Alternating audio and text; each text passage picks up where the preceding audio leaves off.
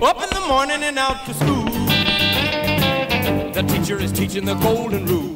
Welcome back. Welcome back. Welcome back to school this year. It's hard to believe the summer is already over, but as the song Chuck Berry says, it's time to go back to school. So, want to go over a few things before the, the school year starts. Uh, there are school zones now.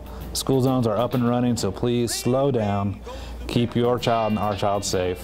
And secondly, there's a new notification system um, where the schools can text you if there are problems or issues or anything they need to alert you about. So if you need and want to be on the alert system, contact your school office and they will get you the details and information. And stay tuned to LPS TV for a story about the new notification system. Hope everyone has a great school year. I hope everybody has a safe and happy school year. Best of luck.